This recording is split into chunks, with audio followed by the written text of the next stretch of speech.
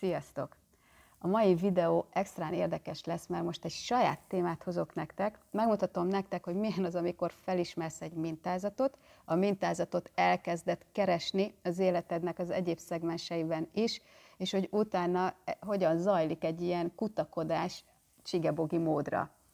És hát megmutatom nektek, hogy én most hogy érzem magamat, mert a mostani felismerésem azért egy kicsit odavágott, hogy én mindenféle figurával mutatom az a mintázatokat, de hát most halljátok, most kb. így érzem magam a mostani felismerésemtől.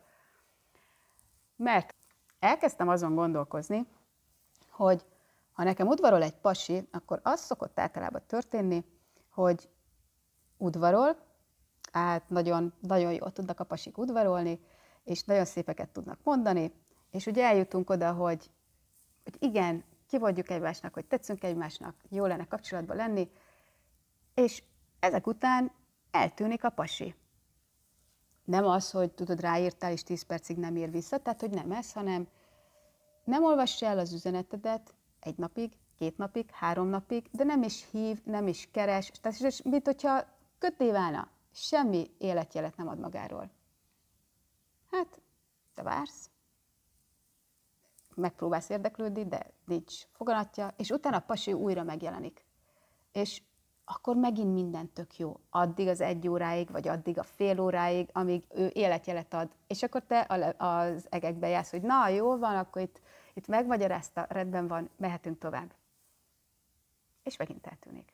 És ezen kezdtem el gondolkozni, hogy ez mennyire gyakran fordult elő az én életemben, hogy mennyire gyakori nálam ez. Hogy lehet-e azt mondani, hogy a párkapcsolataimban ez mintázat. És hát az az igazság, hogy ezt így be kellett látnom, hogy azért több mint egyszer ez előfordult az életemben, sőt, egész sokszor, hogy, hogy így megjelenik a pasi, ilyen csilivili varázslat, szuper, és utána eltűnik, és utána megint, és utána eltűnik. És ugye itt elkezdtem gondolkozni, hogy honnan ismerős még nekem ez.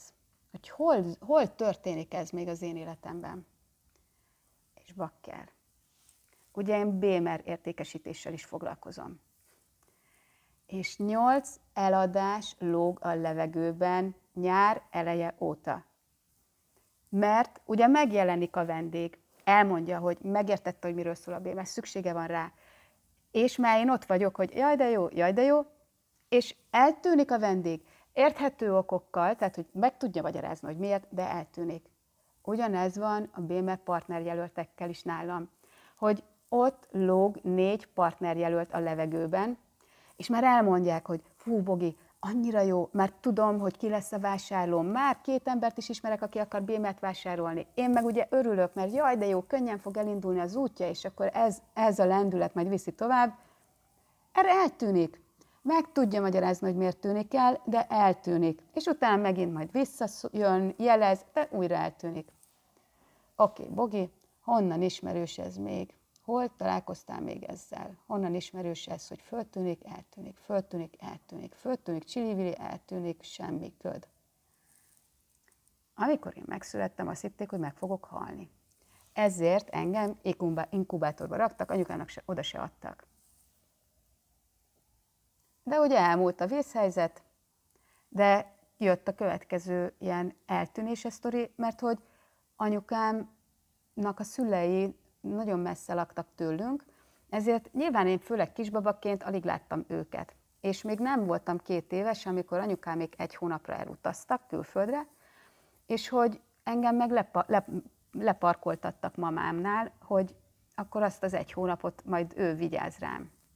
Mert figyeljetek, azért egy, egy alig két éves gyereknek, tehát még nem voltam két éves, nem nagyon van időfogalma arról, hogy jövünk egy nap múlva, két nap múlva, egy hét múlva, egy hónap múlva, és hát azt mesélték, hogy amikor anyukám ugye visszajött, én föl se ismertem az anyukámat. Ugye hozzászoktam a mamámhoz, de utána elvittek anyukám még magukkal nyilván, ezért úgymond már megint az volt, hogy jött valaki, és eltűnt, és megint ott volt valaki, és megint eltűnt. Ráadásul, ugye hazaventünk, épp hogy rendeződik Boginak a lelki világa, és akkor meg megszületik az öccse, mert nem sokkal később, meg ugye az öcsém megszületett.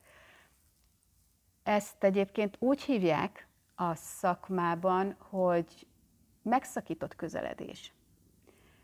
Mert A megszakított kötődés. Mert hogy ugye a kötődési szakaszba, a kötődési időszakba oda valamilyen akadály gördül. Ez ugye lehet az, mint ami nálam volt, hogy inkubátor. Lehet egy testvérnek a születése, ott volt ugye az öcsém. Nézzétek meg, hogy az is egy ugyanilyen uh, megszakított kötődés, megszakított közeledés, amikor a szüleim, a nagyszüleimnek odattak, hogy vigyázzanak ők rám. Lehet ilyen, hogy nagyon megbetegszik a kisbaba, és ugye valami fertőzés miatt bekerül a kórházba, vagy az anya kerül be a kórházba. Ezeknek lehet ilyen hosszú távon ilyen hatása, hogy nézd meg, hogy ott van ez a szituáció, hogy belehelyezkedhetsz, belehelyezkedhetnél valamibe, és utána eltűnik az a valami, amibe belehelyezkedhettél volna. És figyeltek, ami még durvább, hogy még gondolkoztam azért én, hogy honnan ismerős ez. És basszus kulcs, halljátok, rájöttem arra, hogy én ugyan ezt csinálom. Tudjátok, hogy hozzám sokszor milyen nehéz időpontot kérni? Van az első konzultációnak az ideje, és akkor fú, egy ilyen eszméletlen berobbanást szoktak érezni a vendégeim, hogy ez, ez a megrázod a földet velük. És utána Bogi eltűnik. Bogitól is nagyon nehéz utána időpontot kérni. És hogy hányszor van az, hogy a vendégeim szeretnének fizetni, és hogy Bogi, légy szíves, küld el a bankszámla számodat, légy szíves, küld el a bankszámla számodat, és Bogi elfelejti elküldeni a bankszámla számát.